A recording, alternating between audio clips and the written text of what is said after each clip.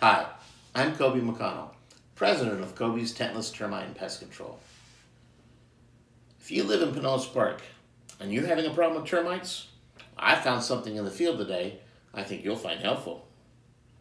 So why don't you come along with me and I'll show you what I found. Okay, here's a, a house where you can see the frame home that um, they just absolutely uh, went to town. Um, homeowner had no idea this was behind the walls. Um, uh, had some boxes and stuff in there. No evidence, no swarms, uh, surprising enough. But this is the type of damage that you see they can do. It just crumbles and rips off. And for whatever reason, they really went heavy and hard around the doors and the windows.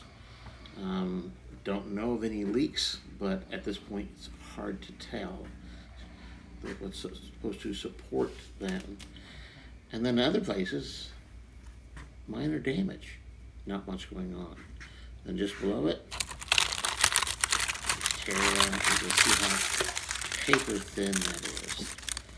Um, but this is stuff that I see on a very regular basis, unfortunately. And it can all be prevented. Um, I, I, I, try to tell everybody, just please get your house treated by a professional term. Even if it's not us, just please get your home treated. You won't be sorry. So, if you live in Pinellas Park and are having a problem with, with termites, give us a call. 727 462 0400. Once again, I'm Coby McConnell, president of Coby's Tentless Termite and Pest Control. As long as God keeps making them, we'll keep killing them. I hope you found this video helpful. You have a great day.